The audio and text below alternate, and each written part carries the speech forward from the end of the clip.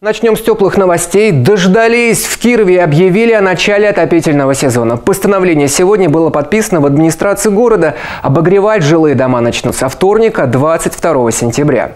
Как сообщается в документе, теплоноситель будет поступать от трех теплоэлектроцентралей – первой, четвертой и пятой, а также котельных по графику. Он опубликован на сайте мэрии. Подключать жилой фонд будут в течение 9 дней постепенно, для того, чтобы сохранить гидравлический режим.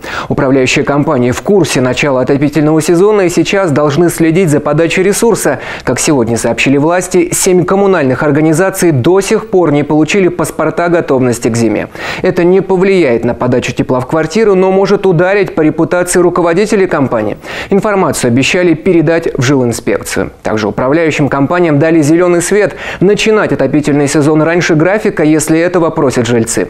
По всем вопросам включения отопления можно обращаться в круглосуточную диспетчерскую службу КТК по телефону 716 716.